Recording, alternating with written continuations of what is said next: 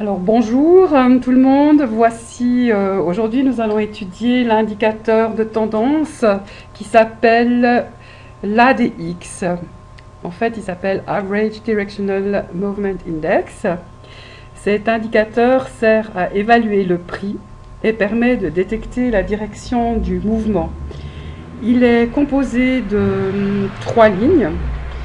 Une ligne rouge euh, qui est le DI moins, la ligne verte, le DI plus, et puis une ligne de force de la tendance qui est bleue. Donc, euh, comment on va utiliser cet indicateur? Eh bien, à chaque fois que la ligne rouge va croiser en montant la ligne verte, ce sera pour nous un signal de vente. Ici, j'ai mis une ligne et ça nous montre qu'effectivement, il y a une descente qui se passe. Et à l'inverse, lorsque nous avons la ligne verte qui croise à la hausse la ligne rouge, eh bien, nous aurons un signal d'achat.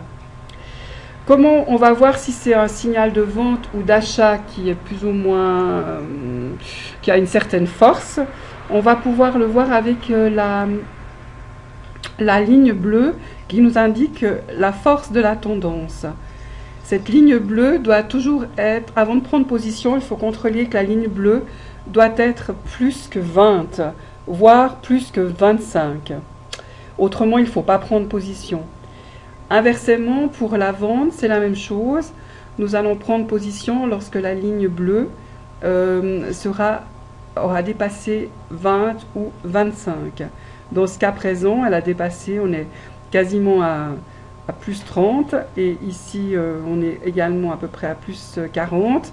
Donc euh, ces deux mouvements qui auraient pu être pris. Voilà. Alors attention aux faux signaux parce que parfois il y a des faux signaux faut toujours bien faire attention justement à la ligne bleue qui est la force du mouvement.